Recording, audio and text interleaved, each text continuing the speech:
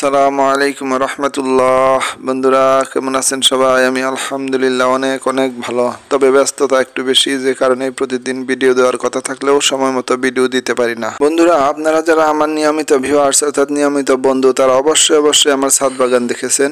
আমার ছাদ বাগানে বিভিন্ন রকমের ফল, ফুল শাক সবজি সহ বিভিন্ন রকম বনজ এবং ঔষধি গাছ রয়েছে। এছাড়াও বিভিন্ন রকম ফুলের গাছও রয়েছে আমার বাগানে।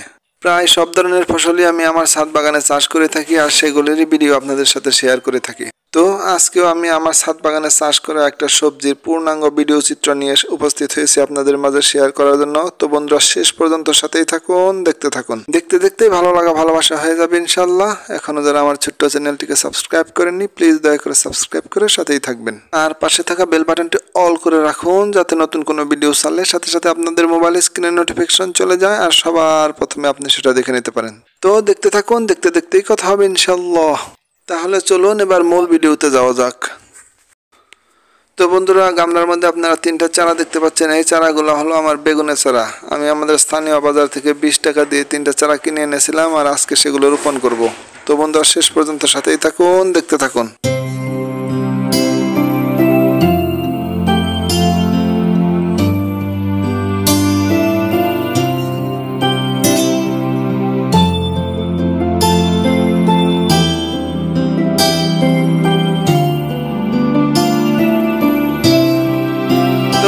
আপনারা দেখতেই পেলেন আমার তিনটা চারাই আলহামদুলিল্লাহ বেশ সুস্থ, সবল আর রোপণের উপযোগী হয়ে গেছে। তো এগুলোকে আমি এখন রোপণ করব।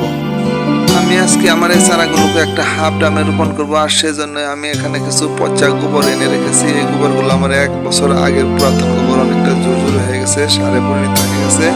এগুলো আমি আমার হাফ ডামের মাটির সঙ্গে মিশ্রিত করব, তারপর সেখানে আমি এই চারাগুলোকে তো বন্ধুরা, এখানে যে হাফ ডামটি দেখতে পাচ্ছেন, এই হাফ ডামের মধ্যে আমি গত সিজনে ভেন্ডি চাষ করেছিলাম। তো আলহামদুলিল্লাহ এত ফলন হয়েছিল যে প্রত্যেকটা গাছে আশি থেকে নব্বইটা পর্যন্ত ভেন্ডি আমি সংগ্রহ করেছি। আমার সেই ভেন্ডি গাছগুলো ইতিমধ্যে মরে গেছে, ডাবটা পতিত করে আছে, যে কারণে এটাকে পতিত রাখা যাবে না। সেই কারণে আমি বাজার থেকে তিনটা চারা কিনে এনেছি, এই বেগুন চারাগুলো, সেগুলো আছে এর মধ্যে রোপণ করব। প্রথমে আমি আমার এই হাফ ডামের মধ্যে আমার পচা গোবরগুলোকে সুন্দরভাবে মিশ্রিত করে একটা বিটি তৈরি করব। তারপরে একে একে তিনটা চারাই আমি এর মধ্যে রোপণ করব। তো বন্ধুরা শেষ পর্যন্ত সাথেই থাকুন, দেখতে থাকুন।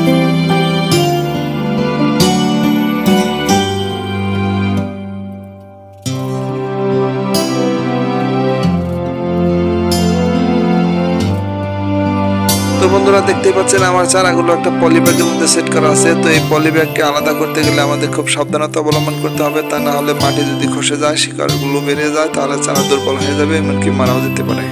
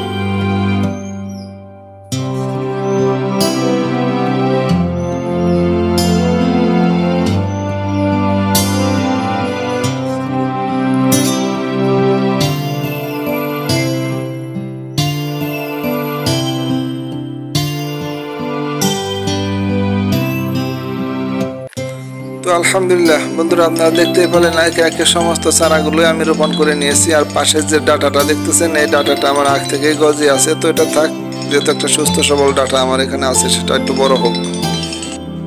এ পর্যায়ে এসে আমি আমার রোপণকৃত চারা গাছগুলোতে কিছুটা পানি দিয়ে দেবো, তারপর একটা লম্বা সময় অপেক্ষা করতে হবে, মাঝে মাঝে এগুলোকে যত্ন নিতে হবে আর পরিচর্যা করতে হবে।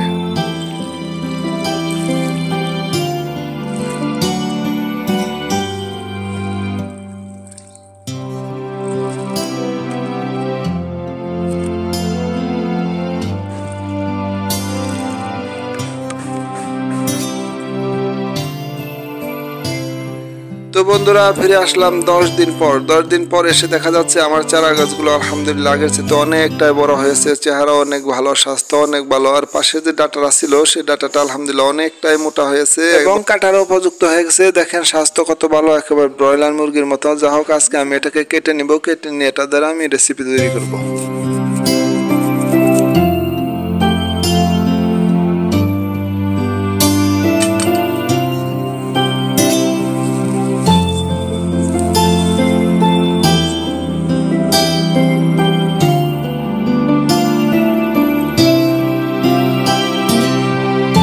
বন্ধুরা, এবার চলে আসলাম তিরিশ দিন পর। তিরিশ দিন পর এসে দেখা যাচ্ছে আমার সেই ছোট্ট চারা গাছগুলো অনেকটা বড় হয়ে গেছে, আলহামদুলিল্লাহ অনেকটা প্রাপ্তবয়স্ক হয়ে গেছে। এগুলোর মধ্যে ফুল আসবে বলে মনে হইতেছে। তো বন্ধুরা, এবার চলে আসলাম আমি চল্লিশ দিন পর। চল্লিশ দিন পর এসে দেখা যাচ্ছে আমার গাছে আলহামদুলিল্লাহ বেশ কিছু ফুল চলে এসেছে। পাশে দুই চারটা কচি বেগুনও দেখা যাইতেছে। তো আলহামদুলিল্লাহ, আমি অনেক ব্যস্ত ছিলাম যে কারণে এর মধ্যে আর আসতে পারি নাই, আর খোঁজ খবর নিতে পারি নাই, কখন ফুল ফুটলো, কখন আবার কচি বেগুন হয়ে গেল। যা হোক, আমি আজকে সময় পেয়েছি যে কারণে বাগানে চলে এসেছি আর আপনাদেরকে দেখাইতেছি। তো দেখতে থাকুন, শেষ পর্যন্ত সাথেই থাকুন।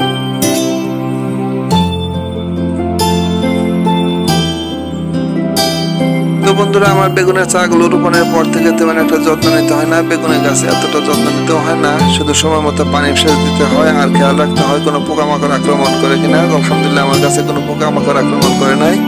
তবে কিছু নিচে গা গাছা হয়েছে, সেগুলোকে আমি আজকে পরিষ্কার করে দিতেছি।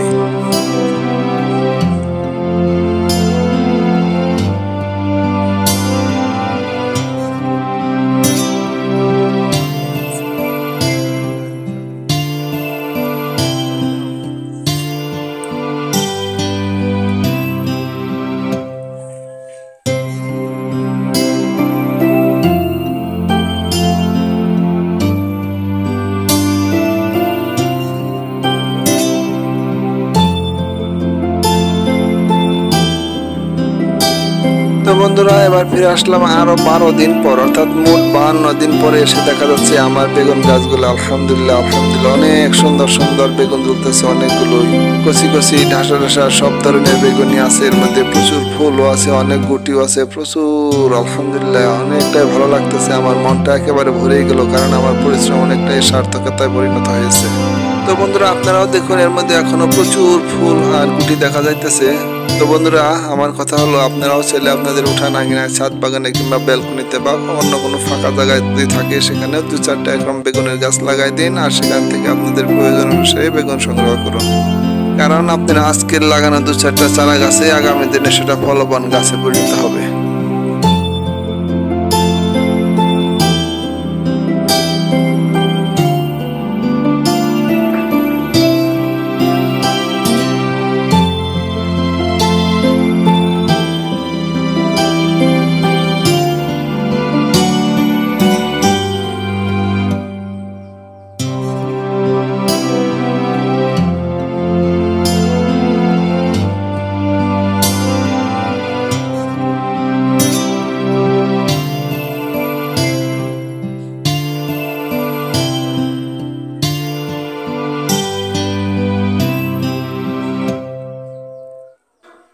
বন্ধুরা, ভিডিওর প্রথম দিকে আপনারা দেখেছেন আমি এখানে তিনটা চারা লাগিয়েছিলাম। তো তিনটা চারাই আলহামদুলিল্লাহ বেশ ভালো হয়েছিল। মাঝখান থেকে একটা চারা মরে গেল, সেটা আমি উপরে ফেলে দিয়েছি। এরপর দুইটা চারা বাকি ছিল। দুইটা বাকি চারাই আমার আলহামদুলিল্লাহ অনেক ভালো গ্রোথ হয়েছে। সেগুলোতে আলহামদুলিল্লাহ দেখতেই পাচ্ছেন কি সুন্দর ফলন হয়েছে। এর মধ্যে এখনও সাতটা ঢাসা ঢাসা বেগুন জ্বলতেছে। তো এখান থেকে আমি আজকে চারটা বেগুন সংগ্রহ করব আমাদের দুপুরের রান্নার জন্য। আর বাকিগুলো থাকবে অন্য কোনো সময় তুলে নেব ইনশাল্লাহ তো বন্ধুরা, শেষ পর্যন্ত সাথেই থাকুন, দেখতে থাকুন। তো বন্ধুরা, এই বেগুন গাছের নিচে ইতিমধ্যে আমি আরও দুইটা চারা লাগিয়েছি। সে দুইটা হলো আমার কপি চারা। তো কপি চারাগুলোর গুতো আলহামদুলিল্লাহ অনেক সুন্দর দেখা যেতেছে তো এগুলো অনেক বড় হলে পরে আমি আপনাদেরকে ভিডিও দেবো ইনশাল্লাহ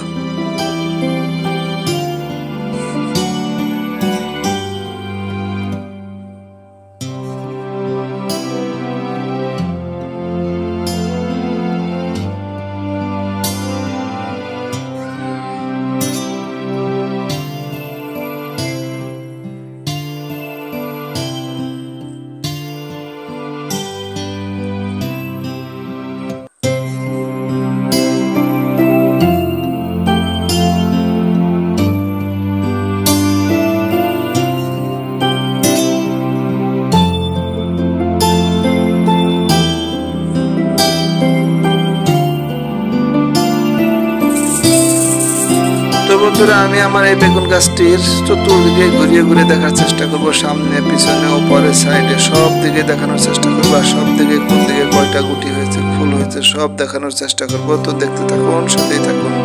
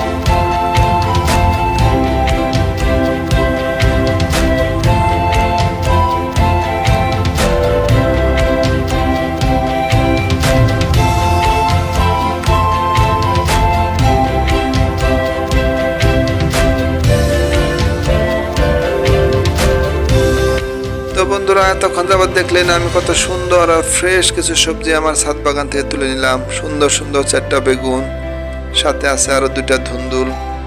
এত সুন্দর, ফ্রেশ জিনিস পেতে হলে নিজে পরিচর্যা করে রোপণ করতে হবে আর সেগুলোতে যত্ন নিতে হবে। তাহলেই সেগুলো থেকে তোলা সম্ভব হবে এরকম ফ্রেশ কিছু ফসল।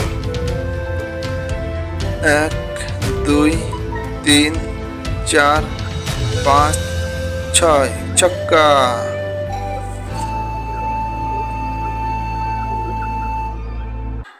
তো বন্ধুরা, দেখতে দেখতে ভিডিও শেষ পর্যন্ত চলে এসেছি। এতক্ষণ আমার সঙ্গে থাকার জন্য অনেক অনেক ধন্যবাদ। সকলেই সুখে থাকুন, শান্তিতে থাকুন। এই শুভকামনায় আল্লাহ হাফিজ। কথা হবে অন্য কোনো ভিডিওতে, অন্য কোনো বিষয় নিয়ে, অন্য কোনো স্থানে।